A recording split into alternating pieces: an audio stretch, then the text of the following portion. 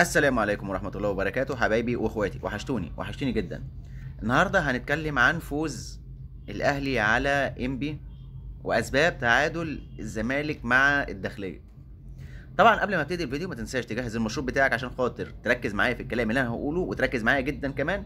وقبل ما أبتدي الفيديو ما تنساش تصلي على سيدنا محمد عليه أفضل الصلاة والسلام. ودلوقتي نقدر نقول بسم الله الرحمن الرحيم. نتكلم الأول على مكسب الأهلي على انبي ولا تعادل الزمالك مع الداخلية؟ أنا بقول نتكلم على الزمالك عشان الزمالك ممكن ياخد مننا وقت شوية.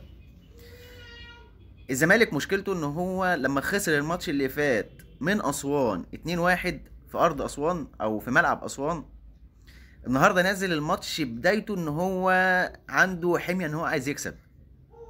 كان عايز يكسب بأي طريقة. فده السبب اللي خلى إن في يبقى في خطوط مفتوحة بالنسبة للعيبة الداخلية. تقريبا كان في أول تلت ساعة.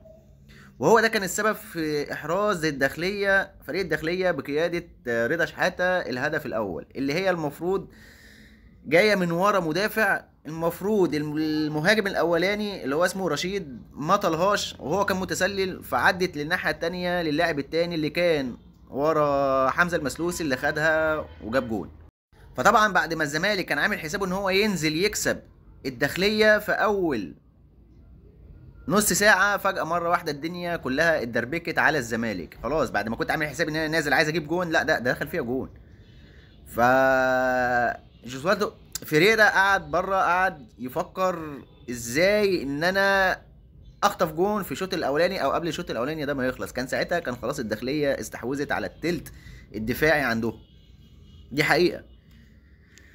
بل بالعكس أنت كده بعد ما كنت متأخر بجون أنت بترهق اللعيبة بتاعة نادي الزمالك إن هي تجيب جون واحد عشان خاطر تعدل النتيجة وبعد كده لسه هتفكر إزاي تجيب الجون التاني. طبعا على ما الزمالك عرف يخترق أو إن هو عرف يجيب جون من ضربة ركنية في الداخلية كان خلاص. انت بتتكلم في دقيقة 95 يعني خلاص. الماتش كله خلص. ايا كان اللي انت عملته بقى في الشوط التاني مش هيحسب للنادي الزمالك لحاجة علشان خاطر انت بتلعب على التعادل. انت كده بتلعب على التعادل. يعني انت كده بتتكلم انك انت الزمالك في ماتشين يخسر خمس نقط. خمس نقط أغلى نقط بالنسبة لنادي الزمالك لأنه هو كان وهو متعادل بالنقط مع الأهلي كانت أنت بتتكلم إن هم يعتبر تعادل ثمين في النقط ما بين الأهلي والزمالك أو الزمالك اللي كان متصدر الدوري والأهلي اللي كان مركز تاني بعد الزمالك. فاهمين أنتوا الليلة؟ ف بتتكلم في حاجة كانت صعبة إن هي تحصل من نادي الزمالك بالذات بعد الموسمين إن هم يتوجوا بلقب الدوري في آخر موسمين.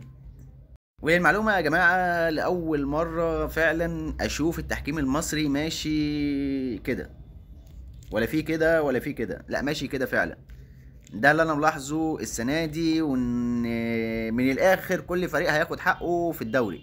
سواء كان أهلي سواء كان زمالك سواء كان بيراميدز سواء كانت الفرق الضعيفة كمان لازم كل نادي ياخد حقه عشان خاطر الأندية كلها تكون يعني حتى كل واحد يكون طالع من كل مباراة مرضي مرضي بالمباراة اللي هو لعبها. نيجي بقى على الناحية التانية النادي الأهلي. النادي الأهلي طبعا بعد آخر سنتين إن هو يخسر دوري فيهم فبالتالي الموسم ده لعيبة النادي الأهلي مش هتفرط تقريبا في نقطة. فهم نازلين أصلا بعد مكسب. بيراميدز اللي اداهم حافز قوي إن هم ينزلوا الماتشات اللي بعد كده. أي فريق هينزل يدافع قدامنا لا هنعرف إن إحنا نكسب. هو ده اللي ظهر النهارده. أنا ما بتكلمش على الماتشات اللي جاية. أنا بتكلم على الماتش بتاع النهارده. آه فعلا إنبي النهارده كان في خد وهات مع الأهلي في الشوط الأولاني وكان في اللي أنا شايفه إن كانت فرص إنبي كانت أحسن من الأهلي بكتير. تمام؟ بس الأهلي عادل الدنيا ما بين الشوطين ونزل الشوط التاني يا قاتل يا مقتول.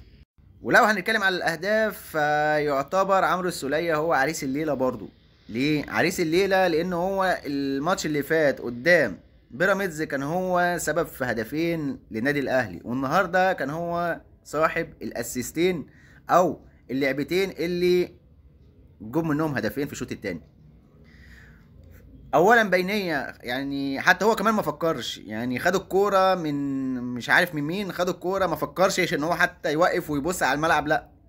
هو كان لامح قفشة فاداله بينية ما بين المدافعين أو في ظهر المدافعين. طبعا قفشة ما جلاش لم الحارس بالهدف. نيجي على الجون التاني اللي خدها طبعا أليو ديانج خدها من عمرو السولية. طبعا عنده التفكير إن هو يخش يلم اللعيبة أو يكروت اللعيبة يدخل عند ال 18 يبقى منفرد بالجون. شاط جت جون.